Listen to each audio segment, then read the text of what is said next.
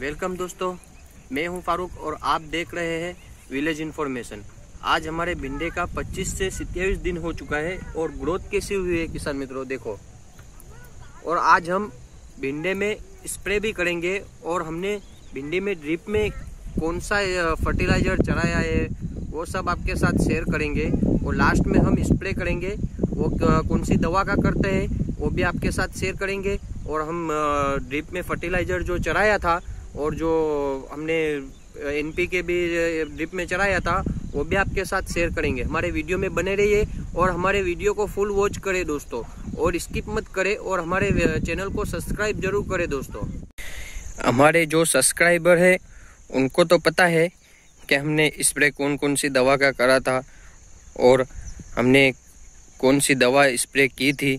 और हमारे जो न्यू सब्सक्राइब न्यू व्यूवर्स आ रहे हैं, उनको पता नहीं है। तो हमारे न्यू व्यूवर्स को इतनी रिक्वेस्ट है कि हमारे चैनल को सब्सक्राइब करें और फुल वॉच करें।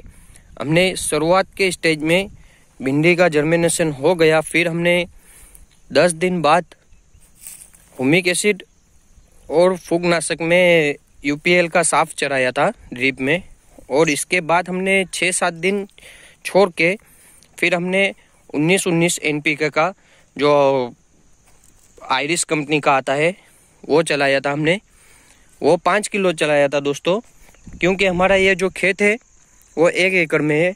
और हमने कुछ ज़्यादा ही चराया है, क्योंकि कम चराएँगे तो उसके पौधे में उतना एन नहीं मिलेगा, क्योंकि ये डबल हार है। देखिए दोस्तों, डबल हार है। डबल हार में अगर हम ढाई किलो चढ़ाएँगे, एक बीघे एक बीघे के अंदर एक किलो तो फिर वो उसको डबल हार में कम पड़ेगा। इसलिए हमने पाँच किलो की बैग आती है वो चढ़ा दी थी। और फिर हमने दस दिन छोड़ के बारह एक साइड चढ़ाया था जो, फुटाव के लिए जो उसमें जो दिख रहे हैं। ये देखिए बारह एक साइड भिंडे के प्लांट को ग्रोथ भी करेगा और जो फुटाव दिख रहे हैं देखे हर एक भिंडे के प्लांट में फुटा हुए देखिए कितना फुटा हुए एक, दो, तीन, चार, और ऊपर से भी निकल रहा है। हर एक भिंडे के प्लांट में है, देखे। एक, दो, तीन, चार, पाँच, कितना है? ये सब बारह एक बारह एक साइड देंगे तो उससे ये फुटाव में जो जितनी फुटाव हुई है, वो जल्दी से ग्रो होगी। तो हमको ये, जो फुटाव मिली है, वो जल्दी से ग्रो होगी तो हम, उसमें हमको उत्पादन भी डबल मिलेगा।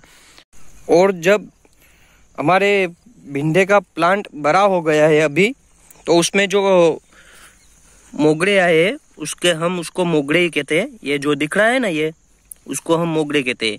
अगर उस, ये आ चुका है, अब ठंडी बहुत ज़्यादा पड़ रही है। अगर उसमें हम कैल्शियम नाइट्रेट भी हमने चढ़ाया है, ये भी पाँच किलो ही चढ़ाया है। अगर हम ठंडी के टाइम पे बहुत ज़्यादा ठंडी पड़ रही है, इसलिए हम अगर कैल्शियम नाइट्रेट नहीं चढ़ाएँगे तो ये सूख के गिर जाएगा। इसलिए हमको ये भी नुकसान आएगा। तो आपको फिर दस दिन छोड़ के कैल्शियम नाइट्रेट पाँच किलो एक एकड़ के दर से चढ़ाना है। तो किसान भाइयों, जो हमारी जानकारी आपको अच्छी लगी हो तो प्लीज़ दिल से सब्सक्राइब ज़रूर करें और हमारे वीडियो को शेयर भी ज़्यादा करें। देख लीजिए, हमारा भिंडे का खेत कितना वो आलीशान दिख रहा है। अभी हम स्प्रे भी करेंगे, कौन सी दवा का करेंगे, क्योंकि इसमें वाइट फ्लाई बहुत ज़्यादा आ चुकी है। टिप्स तो कंट्रोल में है अभी, क्योंकि दिख देखिए दोस्तों टिप्स तो अभी कंट्रोल में है, उसका जो पान निकल रहा है, वो अच्छी तरह से निकल रहा है। अगर ये ऐसे निकलता है तो समझ लेना कि थिप्स आ चुकी है। तो अभी ये तो अच्छी तरह से ग्रोथ में निकल रहा है, ये बाजू में जो छोटा भी निकल रहा है देखिए दोस्तों। तो अभी थिप्स तो कंट्रोल में है, और ये वाइट फ्लाई ने जो दिख रहा है ना जो यहाँ पे आपको मालूम पड़ेगा, ये जो दिख रहा है ना, ये सब आ चुका है। वाइट तो इसलिए हम कौन सी दवा का स्प्रे करेंगे, वो भी आपके साथ शेयर शेयर करेंगे। तो हमारे वीडियो में बने रहिए। बायर कंपनी का सोलोमोन का स्प्रे करेंगे आज हम, भिंडे में।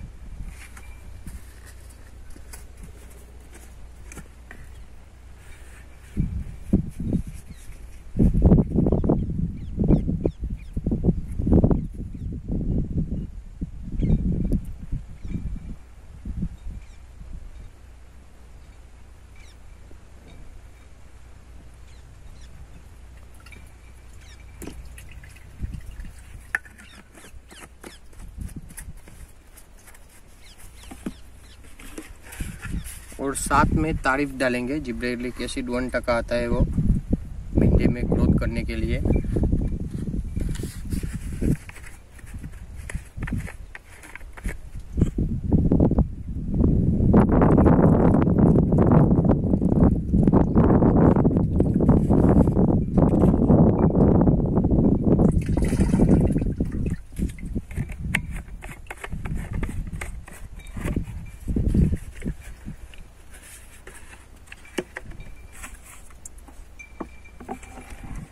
और हमने ये गोल बना के रखा है। अभी ठंड बहुत ज़्यादा पड़ रही है और ऊपर से शबनम भी पड़ रही है। देसी भाषा में उसको झाकल कहते हैं। उसमें फुगनाशक बहुत अटैक करता है भिंडे में। इसलिए हमने एक्रोबेट कंप्लीट का धावर बना के रखा है और ये भी छटकाव करेंगे साथ में।